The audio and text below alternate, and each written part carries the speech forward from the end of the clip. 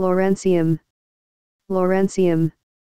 A radioactive actinide discovered in 1961. It has the atomic symbol Lr, atomic number 103, and atomic weight of 257. There are two isotopes with mass number 257 or 258, and mass number 256.